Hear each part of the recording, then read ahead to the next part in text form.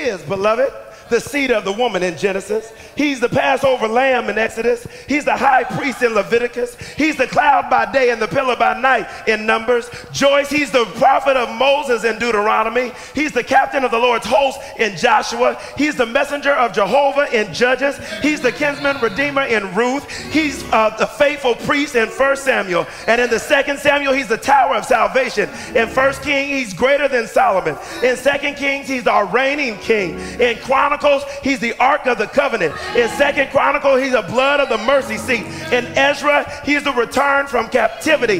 In Nehemiah, he's an awesome God. In Esther, he's our Mordecai. In Job, he's the risen and returning Redeemer. In Psalm, he's the King of glory.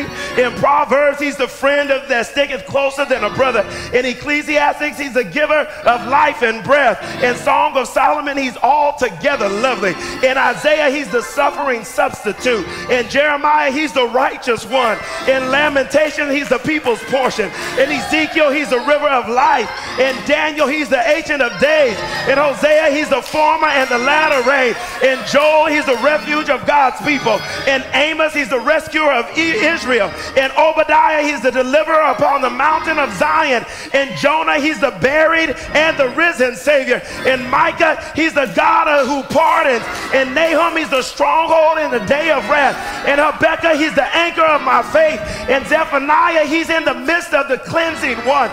In Haggai, he's the smitten shepherd. In Zechariah, he's the branch. In Malachi, he's the sun of righteousness, risen with healing wings. Should I stop or keep going? I, I think I'll talk about him in the New Testament. In Matthew, he's the king of the Jews.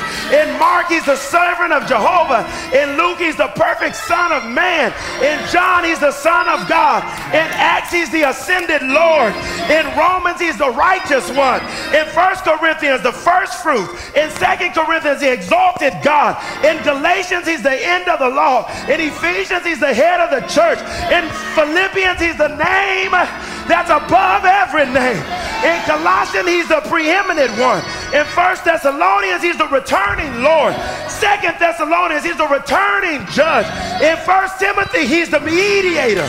In Second Timothy, he's the bestower of crown. Yes. In Titus, he's the great God and Savior. In Philemon, he's the Father's partner. In Hebrews, he's the mediator of the new covenant. In James, he's the Lord of glory. In First Peter, he's the chief cornerstone. In Second Peter, he's the bright and morning star. In First John, he's the propitiation of our sin. In John, Second John, he's the God, he's God's Son come in the flesh. In Third John, he's the truth. In Jude, he's our security.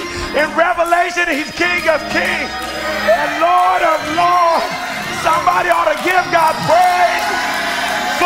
person. Hallelujah. Hallelujah. Hallelujah. Hallelujah.